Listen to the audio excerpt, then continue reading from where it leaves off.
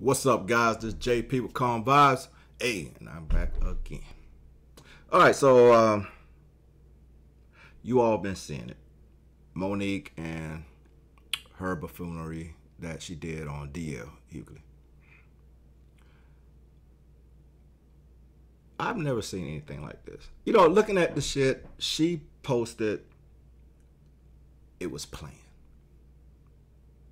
What did you plan?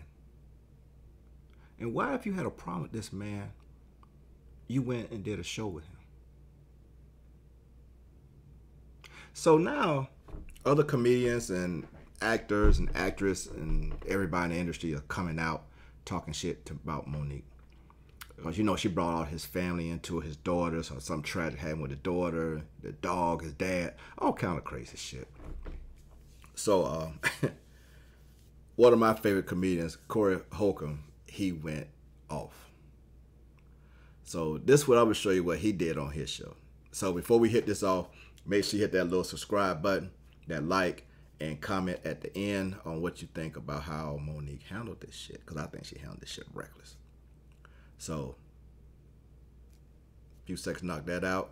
And let's check this shit out, man. He dragged her ass. Let's go. Shit out of here. Nobody want to watch that shit. You brag about being the headliner on the Queens of Comedy, but watch this. Watch this. Y'all ready for this? America, you ready for this? The building wasn't half full. Oh. So if you such a headliner, why you couldn't fill up the building? The building wasn't half full. Like WNBA. I'll be there in December. We might do two shows. And I ain't never had a TV show. Them people ain't fuck with me because I ain't gonna get on there and say, God damn it, that hog mog make me go. I cannot. I cannot. that sucker ass comedy the fuck out of here. All you can do is talk bitter shit. The fuck is you talking about? You sitting up here shitting on motherfuckers, bragging on your resume. Your contract wasn't right. Your resume obviously ain't shit. Didn't you win a movie for being the worst cinematog- cinematographic mom in the history of movies? Watch Precious. Ain't shit precious about it. So basically, at the end of the day, what do you? How would you uh, word it that should have taken place? Somebody say she a good actress. Okay, Oh. Let's give her the good actress. 50 Cent said he about to put her in his In shit. show, uh-huh. Yeah. So 50 Cent could maybe help the bitch. But in comedy, no. You know you ain't shit, so you start shit. I hate to This see, is called this is called insecure bitch syndrome. All bitches who are insecure about shit find ways to jump shit off, try to get all the women on your side and all that shit. Bitch, you ain't crack no jokes. You didn't crack no jokes. Hmm. so you basically. What are jokes? so it was just an unprofessional move? She shouldn't have just. She, She went up there and shitted all over that man. DL didn't shit all over her. DL got a corporate job. He getting corporate money. He can't do the same shit she do. it was like he was just answering her back. I'm not making no excuses for because I'd have did the shit anyway. Motherfucker go on stage. A fat bitch talking shit about me.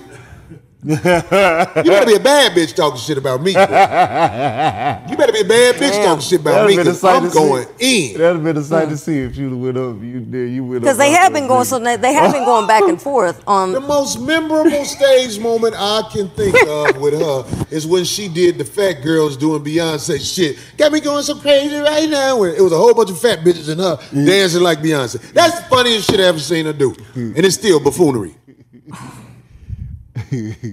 Sell out some shows on some jokes. You can't. No matter what you say about who you are, I'm 30 years in the game. The building was half full. Groupon tickets. It happens sometimes, but it ain't the show. I'm not finna be bragging about who I am in a theater that's half full in Detroit, full of niggas, Michigan. Hmm. Motherfuckers would have bought the ticket, but they looked at that shit, and I know everybody who was on that ticket. They was like, nope. I fuck with that pussy ass show. Okay, so uh there you have it, man. He man, he just tell you how he felt about the shit. Um a lot of people feel the same. She did not handle this right. I don't know what the freak she was thinking about. I don't know why you want to just do what you did. Because you i don't understand if you have a problem with someone and you went back like you did a live i'm not even gonna play that bullshit. You did a live about how and why you did what you did. And you went all the way back to when he um, had his tv show. That show been canceled for damn what 12 to 15 years if not more? You went all the way back to that to say you had a problem with him to justify the bullshit you did. And then you're trying to rally all the black women like it's a sisterhood problem to attack him now. The same shit you did with Netflix, you try to get mad because nobody wanted to protest Netflix because you didn't want to get you didn't get paid what you thought you should get paid. And and here's a little something a lot of people don't know. Um, the CEO of Netflix is married to a black woman.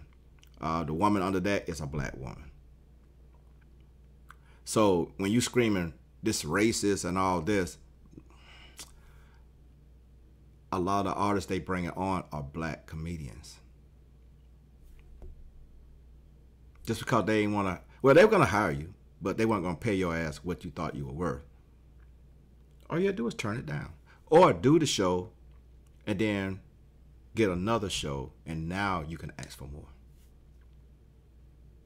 Because I think nobody's seen you on screen and who knows how long doing comedy. Last time I seen you was fat, fat. You know, you just, you know, you big now, but you were like big, big last time I seen you talking about skinny bitches and all that shit. So, but anyway, um, the shit's not working out the way she thought. Um, DL's daughter responded back to, the oldest daughter responded back to her with a nasty um, letter. Um, it's it's not coming out good for her because you know you went after him but then you hurt his wife and then you went after his daughter. You said something about her daughter something tragic happened to the daughter and you brought it up. Now she got to relive that shit again and uh, you know so everybody like what the fuck?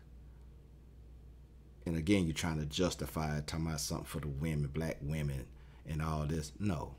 No you fucked up. You and a clown ass husband y'all fucked up. So I, I don't have no remorse for her. I know, I mean, she's not on my list for anything. I can tell you that now. And a lot of other people probably gonna shut her down. Now she said she's gonna do some more shows. Uh, I think what she said she was going. I don't know if she said she's going out to Florida or New York, but she said she has some more shows to discuss it. So people, if you're paying your money to go see this shit, guess what you're gonna hear about?